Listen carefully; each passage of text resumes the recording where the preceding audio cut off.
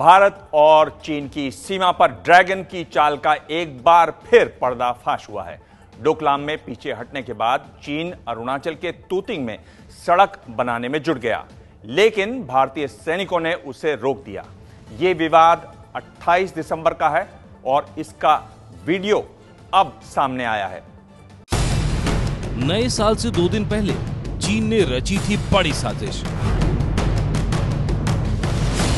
अरुणाचल में चीन की नई चाल। सामने आया चीन की घुसपैठ का नया वीडियो।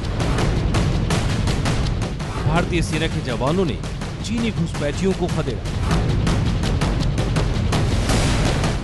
डोकलाम में मुँह की खाने के बाद भी नहीं सुधरा ड्रैगन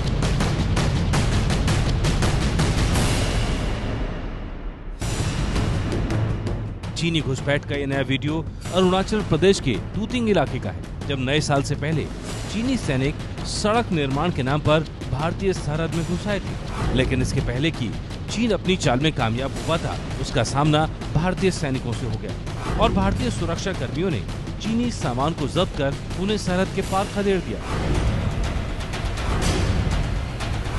खबर सामने आने के बाद चीन ने अरुणाचल में ऐसी किसी भी घुसपैठ से इनकार किया।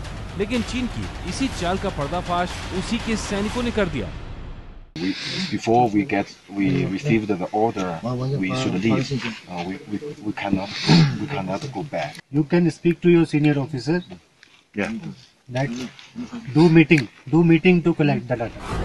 सुना आपने कैसे चीनी सैनिक अपने अधिकारी से आदेश लेने की बात कर रहा है इसका मतलब साफ़ है पीएलए के बड़े अधिकारियों को इस घुसपैठ की जानकारी थी और ज़ाहिर है घुसपैठ की जानकारी चीनी सरकार को भी पहले से थी।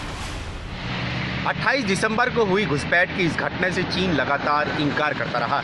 लेकिन 6 जनवरी को जब भारत और चीन की सेनाओं के बीच में बीपीएम यानी बॉर्डर पर्सनल मीटिंग हुई, उसमें भारतीय सैनिकों ने चीनी सड़क निर्माण दल का जो जब्त किया हुआ सामान था, उसे वापस कर दिया। लेकिन इस घटना ने एक बार फिर से साबित कर दिया है कि सरहद पर चीन की चालबाजियाँ लगातार जारी हैं। चीन को ड्रैगन, ऐसे ही नहीं कहा जाता, ड्रैगन की वक्र गति होती है। यानी वो सीधे चलता ही नहीं है। कहीं दिखाई देगा, कहीं गायब। चीन का भी वही हाल है, लगातार हम इसको देख रहे हैं। ये है एबीपी न्यूज़ आपको रखे आगे।